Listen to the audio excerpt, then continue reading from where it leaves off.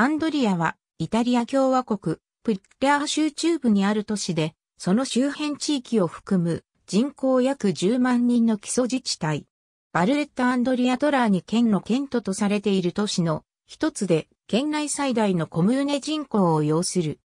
ユネスコ世界遺産のカステルデル・モンテは、このコムーネの郊外にある。標準イタリア語以外の言語では、以下の名称を持つ。バルレッタ・アンドリアトラーニ県中部のコムーネ。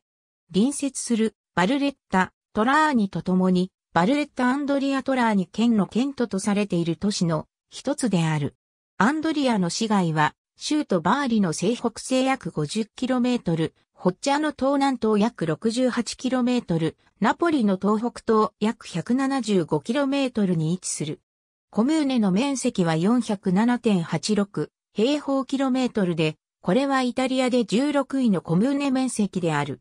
バルレッタ・アンドリアトラーニ県概略図隣接コムーネ、編集隣接するコムーネは以下の通り。BA はバーリ県所属。アンドリアの市街には3つの高い鐘楼があり、3つの島の町として知られる。2004年にバルレッタ・アンドリアトラーニ県が設置されると、バーリ県から移された。アンドリアには以下の分離集落がある。全国オリーブオイル都市協会の加盟都市である。